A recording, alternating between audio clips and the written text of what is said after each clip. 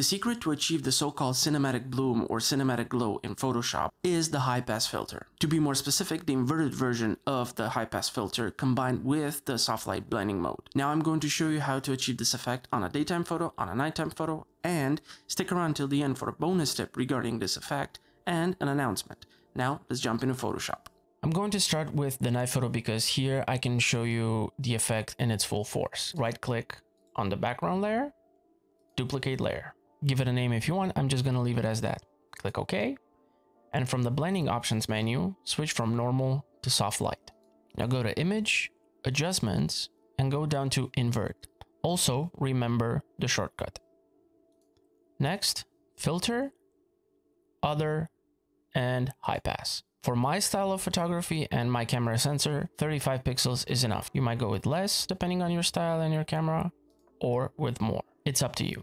I stick with 35 on all my photos. Click OK and this is it. This fast, especially for a photo like this where you have a huge light source and everything just fades into the shadows. And this is also at 100% opacity. Now we're going to switch to the daytime photo and here we're going to play with the opacity. Now, instead of right clicking and duplicating the layer, I want you to click on the background layer and press Ctrl or Command J on your keyboard to duplicate. And as I already mentioned, if you go to Images, Adjustments, and Invert, we have a shortcut which we're going to use. Control or Command I to invert. Now, if we go to Filters, we can see at the top of the list our previous use filter. So we don't have to go through other and high pass. So just click on it. It will give you the exact amount you had before. So in my case, 35 pixels.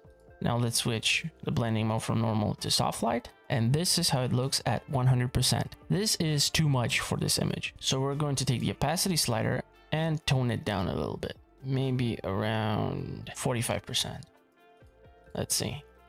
Before, after. And this is the effect. This is the so-called cinematic bloom or cinematic glow effect on a night photo and on a daytime photo. Now for the bonus tip that I mentioned, you can also apply this effect to your skin to get a smooth skin effect. Let me show you how. The process is the same. Click on the background layer, Control or Command J to duplicate, Control or Command I to invert, go to Filter, High Pass, and change the blending option to Soft Light.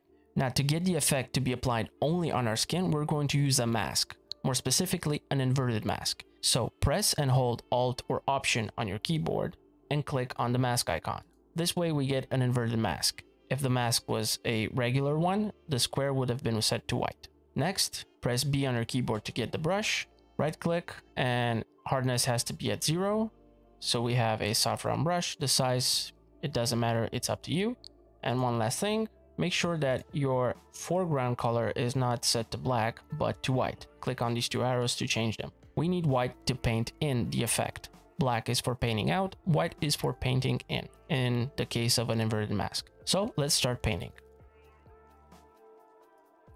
As you can see, we have smooth skin, it glows, but the effect is too strong. So let's drop the opacity down to around 60%. Now this looks perfect.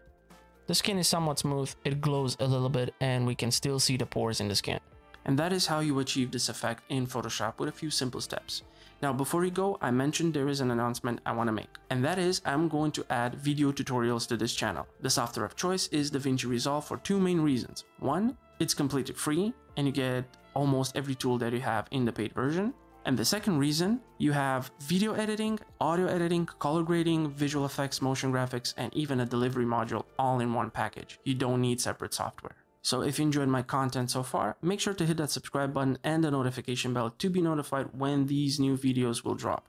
Now before I go, here's another interesting tutorial you might want to watch and here is a very helpful playlist. Until next time, take care.